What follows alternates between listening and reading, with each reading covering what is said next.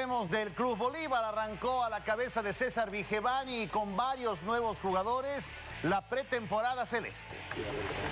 Con ocho refuerzos y la base del año pasado, más el retorno de Maigo y Valdomar, Bolívar comenzó su pretemporada. Marco Riquelme tiene una oferta seria de un club de Medio Oriente, situación que definirá en las siguientes horas. Están, están en conversación eh, mi representante con, con algunos dirigentes de acá.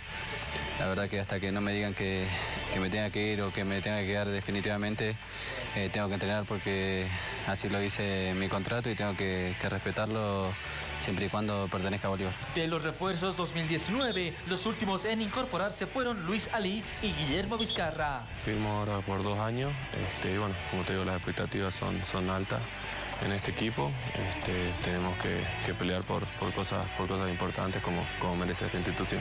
Hace instantes, Marcelo Claure anunció en su cuenta Twitter la renovación de contrato con Juan Carlos El Conejo Arce, quien se quedará este año a vestir la casaca celeste.